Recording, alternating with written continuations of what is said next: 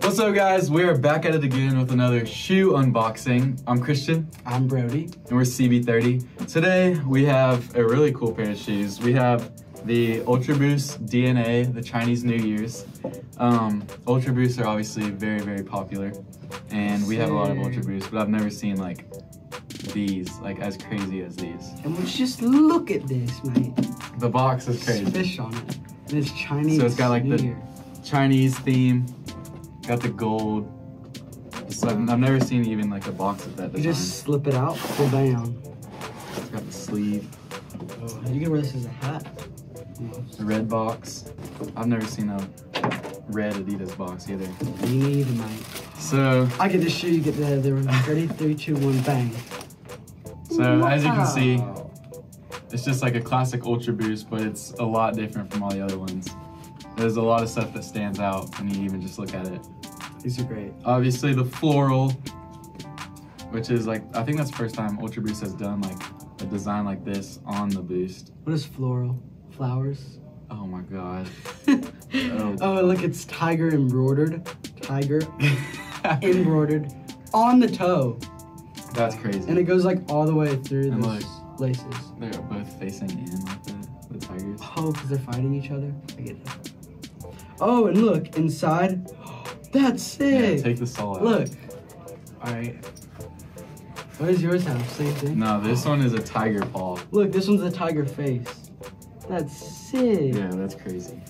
I was looking at uh like the Chinese New Year stuff, and like usually they do one every year, and they have like the symbol of like the Chinese New Year, which apparently this year is supposed to be the rat. So technically these aren't the Chinese New Years. They're called like the DNAs, but everyone just thinks they are because they've got like the tiger. I think the tiger is gonna come around in 2022. I heard that's like the symbol of. Look at you knowing about I know, I'm on it. Look, Got they the- have gold tips on Yeah, the thing, and they have gold right here. That's sick. And like if you look close, this is like the actual print right here is floral, like really Oh, like gray floral heck? camo That's sick. and these dots. Big thing right now is like the Air Force One customizing like all the custom stuff. Like if you look at these from afar, it's like that, Looks but it's custom. like professional custom. The bottom's got the gold Torsion system right here. It's I like the color, like the color. The tiger is crazy. Yeah, the the- tiger is sick. It's like not. It's like a patch. It's not like It's not paint or anything. yeah. It's like an It's actual embroidered patch. on there. All right, so we talked about it. We talked about the details and stuff. Now we're just gonna go like average Joe. What do we rate these? The I would have Joe. to give them a 10 out of 10 for detail because they have great detail. But for like wearing wise, I'd say like a 9 out of 10.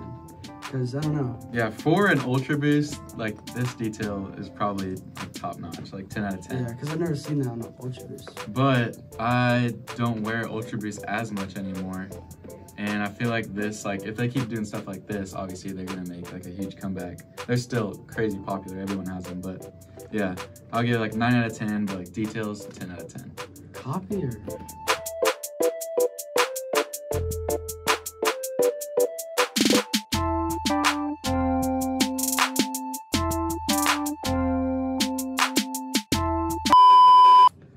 Look at the tiger. How great it is.